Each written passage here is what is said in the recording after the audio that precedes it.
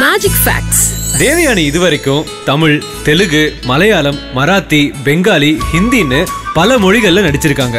நாலு டிவி சீரியல்ஸ்லயும் நடிச்ச தேவயானி இப்ப நிறைய டிவி ஷோஸ்ல ஜட்ஜாவும் இருக்காங்க. குடும்ப தலைவியா உணர வச்சிருக்கிற தேவயானி நடிப்பு மட்டும் இல்லாம சென்னை சர்ச் பாக்ஸ் ஸ்கூல்ல டீச்சராவும் ஒர்க் பண்ணிருக்காங்க சினிமால எப்பவும் சாஃப்ட் கேரக்டர் பண்ணியிருக்க தேவயானி நிஜத்துல ரொம்ப கோவக்காரங்களாம். அவங்க கோவப்பட்டுட்டா அவங்க எதிரில யாருமே இருக்க மாட்டாங்களாம். தேவயானியோட ஹஸ்பண்ட் ராஜகுமாரன் இப்பவும் அவங்கள தேவயானி மேடம்னு தான் கூப்பிடுவாராம். ஆரம்பத்துல அப்படி கூப்பிட்டு தான் பேசினேன். கல்யாணம் ஆனதுனால மரியாதை மாறாதுன்னு சொல்லுவாராம். ராஜகுமாரனை தேவயானி அண்ணுன்னு கூப்பிடுவாங்களாம். கலைமாமணி அவார்டு பெற்ற தேவயானி சூரிய வம்சம் காதல் கோட்டை மற்றும் பாரதி போன்ற படங்களுக்காக தமிழக அரசின் சிறந்த நடிகைக்கான விருதும் வாங்கியிருக்காங்க. வாழ்க்கையில திருப்தியா இருந்த தருணங்கள்னா தன்னுடைய ஃபேமிலி கூட ஸ்பெண்ட் பண்ண டைமும் வீட்டு வேலைகள் பார்த்த நேரமும் தான் சொல்லியிருக்காங்க தேவயானி.